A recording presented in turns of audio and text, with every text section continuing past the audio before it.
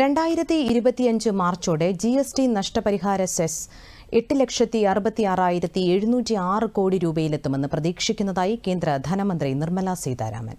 അൻപത്തിനാലാമത് G S T council യോഗത്തിന് ശേഷം ന്യൂഡൽഹിയിൽ വാർത്താസമ്മേളനത്തിൽ സംസാരിക്കുകയായിരുന്നു കേന്ദ്രമന്ത്രി.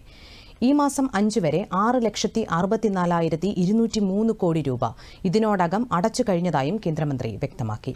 മെഡിക്കൽ ഹെൽത്ത് ഇൻഷുറൻസിന്റെ ജി എസ് ടി കുറയ്ക്കുന്ന വിഷയം മന്ത്രിതല സമിതിക്ക് വിട്ടതായും നിർമ്മല സീതാരാമൻ അറിയിച്ചു. സമിതി റിപ്പോർട്ട് അടുത്ത മാസം സമർപ്പിക്കും. നവംബറിൽ നടക്കുന്ന ജി എസ് ടി കൌൺസിൽ യോഗം റിപ്പോർട്ട് പരിഗണിക്കുമെന്നും കേന്ദ്ര ധനമന്ത്രി വ്യക്തമാക്കി. State rationalization GOM headed by but with newer members added for this limited purpose. The rate rationalization GOM under the Deputy Chief Minister of Bihar will be doing its job.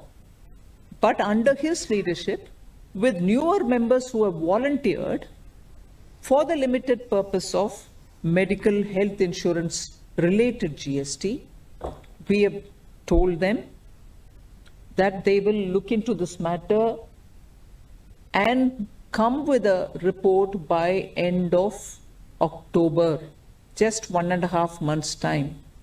And the GST Council, which will meet in November, will finalize based on this report, which will come from the GOM. So, why did we have to refer that to the GOM? Medical insurance related. ധനകാര്യ സഹമന്ത്രി പങ്കജ് ചൌധരിയും സംസ്ഥാനങ്ങളിൽ നിന്നുള്ള ധനമന്ത്രിമാരും യോഗത്തിൽ പങ്കെടുത്തു